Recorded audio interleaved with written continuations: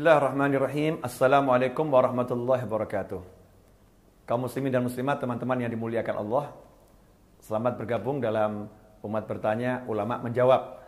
Kali ini saya akan menjawab pertanyaan teman-teman yang menanyakan apa yang harus dilakukan agar tidak mudah putus asa. Jadi banyak teman-teman ini yang merasa mudah putus asa. Sebetulnya putus asa itu timbul karena punya asa yang salah. Karena punya asa yang salah, maka jadi putus asa. Asa artinya harapan. Jadi punya harapan yang salah, maka harapannya putus. Ya, harapannya putus. Asa yang salah bagaimana? Dia sandarkan dirinya kepada selain Allah Subhanahu wa taala. Dia bergantung kepada pekerjaannya, bergantung kepada usahanya, bergantung kepada ikhtiarnya, bergantung kepada kepandaiannya, bergantung kepada relasinya, bergantung kepada teman-temannya, bergantung kepada harta simpanannya, bergantung kepada apa yang dia miliki dan menempatkan Allah taala jauh dari semua itu. Inilah yang menyebabkan seorang itu mudah putus asa. Karena ketika usahanya itu jatuh, maka asanya pun jatuh, harapannya jatuh. Dia nggak punya sandaran lagi. Ketika kepandiannya itu hilang, maka harapannya pun hilang. Ketika harta simpanannya lenyap, maka harapannya pun lenyap karena sandarannya adalah makhluk yang yang nggak punya apa-apa, makhluk yang nggak bisa apa-apa. Tapi beda dengan orang yang bersandar hanya kepada Allah Subhanahu wa taala. Dia sadar dirinya nggak punya apa-apa, dirinya nggak bisa apa-apa, dirinya tidak mampu melakukan apa pun itu.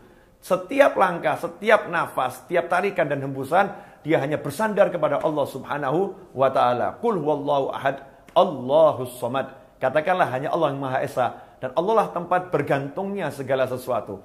Orang yang bergantung kepada Allah SWT, orang yang bersandar kepada Allah Ta'ala, maka dia menjadi orang yang sangat optimis dalam setiap perilakunya, dalam setiap usahanya. Pantang menyerah dan tak pernah kenal mundur. Kenapa? Karena setiap kali usahanya jatuh, dia tahu ada Allah yang maha membangkitkan. Ada Allah yang maha kuasa. Ada Allah yang maha hebat. Ada Allah yang maha membantu. Ada Allah yang maha memberi. Setiap kali apa yang menjadi yang dia rencanakan berantakan. Dia tahu rencana Allah jauh lebih baik. Dan dia sandarkan semuanya kepada Allah subhanahu wa ta'ala. Selalu dia menekuni zikir. La hawla wa la quwata illa billah. La hawla wa la quwata illa billah tidak ada daya dan upaya kecuali atas izin Allah Subhanahu wa taala. Saya tidak punya kekuatan kecuali yang diberikan Allah taala. Kalimat ini diresapi dan diucapkan, dihayati dan diamalkan. Ini adalah obat yang mujarab kalau pengen tidak mudah putus asa. Sebagaimana disebutkan oleh Nabi Muhammad sallallahu alaihi wasallam dalam sebuah hadis yang diriwayatkan oleh Imam Al-Hakim dalam kitabnya Al-Mustadrak, Rasulullah SAW menyatakan, "Man qala la haula wa la quwata illa billah kana dawaan min tis'atin wa tis'ina da'an aisaruhal ham.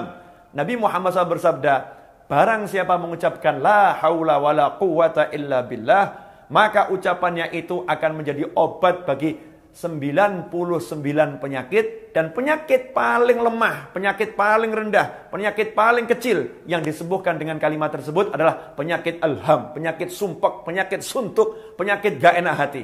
Karena suntuk, sumpah gairah hati ini muncul dari bersandar kepada selain Allah Subhanahu wa taala.